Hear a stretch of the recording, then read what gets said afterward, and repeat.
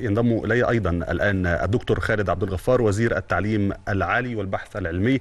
أهلا بك سيادة الوزير. أهلا بك. أهلا بك. نعزيك ونعزي كل المصريين. كيف نظرت لحادث اليوم سيادة الوزير؟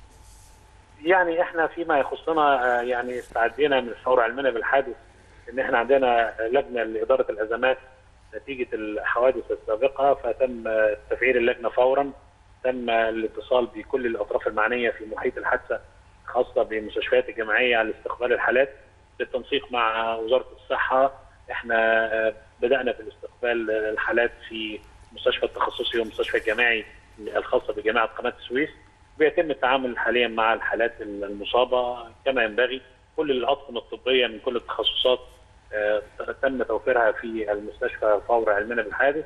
وكل المستلزمات والمستهلكات الطبية بالتنسيق مع وزارة الصحة جاري التعامل مع الحالات.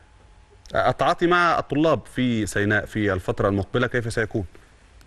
لا ده سبق لأوانه يعني خلينا نتكلم على الحدث وبعد كده يعني الأمور الأخرى يعني تباعا نستطيع أن إحنا نقيم الموقف وعلى ضوء نبتدي ناخذ القرارات. الدولة المصرية سيادة الوزير أنت تعلم ربما يستخدم هذا الحادث كسلاح ذو حدين للأسف طبعا هناك شهداء ومصابين لكن الدولة المصرية كيف تستفيد في تصحيح الصورة والمفاهيم لدى الغرب؟ عما يحدث في مصر.